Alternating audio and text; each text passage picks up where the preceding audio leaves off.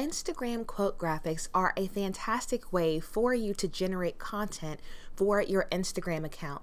But what will take your quotes to the next level is if they are visually consistent and they reinforce what your brand does in your community. So, what we're going to do is we're going to revise the way that ESS does quotes and we're going to brand them for their business. If you are interested in my VIP Vault, which is my epic resource library filled with cheat sheets, tutorials, checklists, and even stock photos for free, you can go to lashondabrown.com or you can click on the link in my description. Without further ado, let's hop in.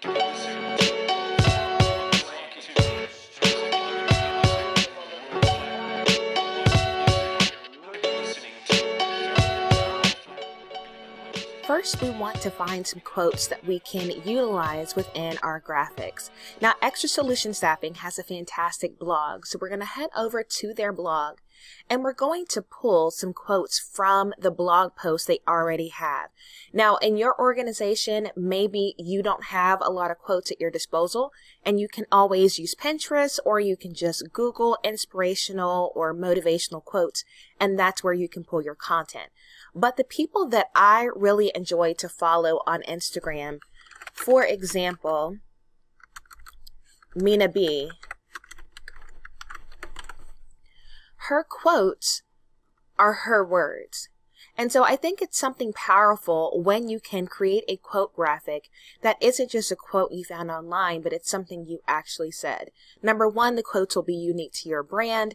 And number two, it will reinforce what it is that you do. So Minaa is a therapist. And so when she writes her own quotes and posts those to Instagram, she's reinforcing the fact that she is a qualified mental health educator. So I think that that is a fantastic way to go about choosing what you say in your quotes. So if we go back to the ESS blog, I remember seeing one specifically that really resonated with me, and that was study the culture in order to impact the system. And so we're going to take this quote and we're going to put it within a quote graphic. So we'll go ahead and copy that. And we're going to look up Instagram post just to make sure that they are the right size.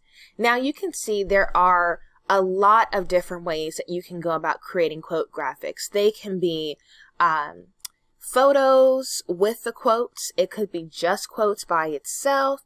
Um, there are tons of different styles, but I think what I want to do is to make sure that the quotes are actually um, part of an image that has a photo in it. I tend to resonate more with quote graphics that have people in it. And ESS helps to connect people with opportunities. So I think instead of just emphasizing the words for their brand, I think showing the people impacted by their advice is going to be a powerful statement. So we can look at what templates are available that have photos in them or we can create from scratch. So I think we're going to do a little of both, but we're going to make sure that it stays within the same color palette. So we'll start with the blank one. And what we're going to do is we're just going to add an element. And I like to use the rectangle element a lot so you can search for it here, but since I use it all the time, it's available here. And I like the rectangle because it has areas on all sides of the graphic that allow you to resize it. And so what we're going to do is we're going to utilize this rectangle in four different ways. So we'll go ahead and select their blue. We'll give it a little transparency. Take it down to about 85. And we'll leave that there. So we're going to copy this page. And this is going to give us four different formats. So for the first one, we'll put the rectangle on the right. The second one, we'll put it on the left. The third one, we're going to rotate it and put it at the top.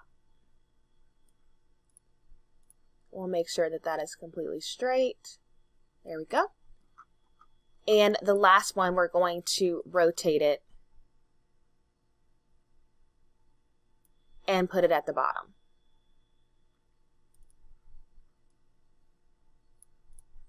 So when we go to Pages Manager, you can see that we've got four different variations for ESS quote graphics. Now you can do a lot more than that. If we go back to the main view and we add another page, we can go to templates and we could do something like this where we've got a box and we just remove the background. Another one could be maybe this love post where you've got a photo and the text around it, but I want to keep it nice and simple. And so those are our four. Now the next thing we want to do is we want to have consistent fonts. So we're going to go ahead and add a subheading. And I think for the ESS brand, we're going to use this thick font here. And I want to increase the size because again, on Instagram, this is going to be pretty small. And we're going to make it white so it really pops on that dark background. Now the other thing we're going to do is change that spacing so we can get more text here. And we'll spread it out just a bit.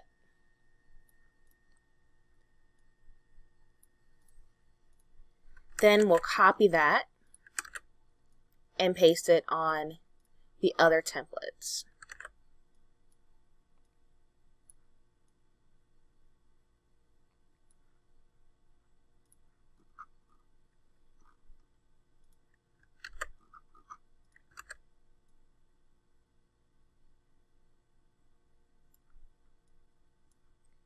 Now I want to make sure that their handle goes on all of these.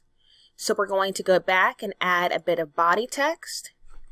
And we're going to say at extra solution staffing. And we will make this bigger so we can read what we're typing.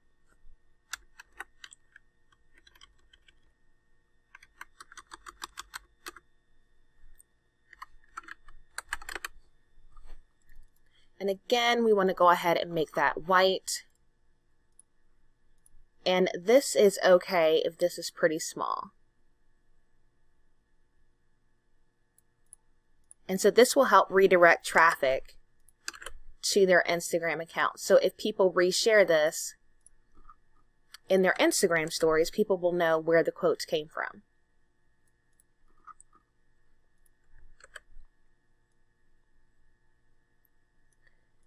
Now the last thing we want to do is go ahead and add a logo. So this goes back to the previous video where I expressed that it is very helpful to have an all white version of your logo.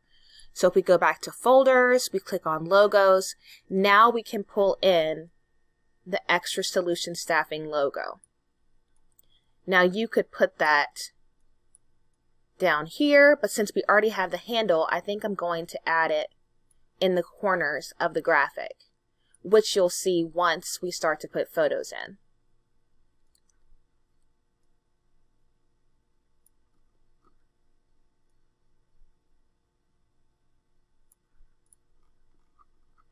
And all of these have transparent backgrounds. So since we have the handle down here, let's put the logo up top. And then here's the last one. So now what I'm going to do is I'm going to go back to their blog. I'm going to drop in all of the quotes that I want to use. And then I'm going to find images that match the quotes. Just a couple quick notes about using images in your quote graphics. Sometimes the people may not be on the right side of the graphic when you're ready to use them. For example, if I were to use this photo, but I wanted the quote on the right side, if I dragged it, she would be covered up by that bar. And so what I can do instead is I can utilize Canva's flip function. So if you click on flip and you flip it horizontal, now you can have the person where you need them to be. And so if this was the image that I was using, now that works perfectly. So that's just one quick note about your images.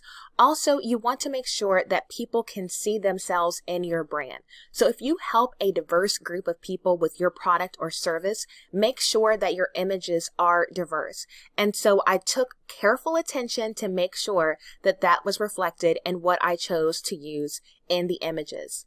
So when I was done, all I need to do is go ahead and rename this. So I will say ESS quote graphics and then I can click on download. It'll download it as a PNG and it will put all of the images in a zip folder. And so now I've got images to last me for an entire week because I like to do a Friday introductions on Friday. So if I wanted to post daily on this Instagram account, now within a matter of minutes, I have exactly what I need and I can be consistent with the content that I am producing for that business Instagram account. So if you are looking to generate consistent Instagram content, I would highly recommend not only doing quote graphics, but using your own quotes, putting your branding on it, and having people within the images to help people to connect with your brand in a deeper way. I hope you guys enjoyed this video. If you missed the Instagram highlight video, make sure that you go back so that you can learn how to make Instagram highlight covers for your business Instagram account. And up next, we're going to brand some IG story templates. Be sure to like this video and subscribe because I teach you how to grow your biz without breaking the bank. If you are looking for incredible stock photos for your brand that are diverse, be sure to check out eyeforebony.com. Until next time, ta-ta for now.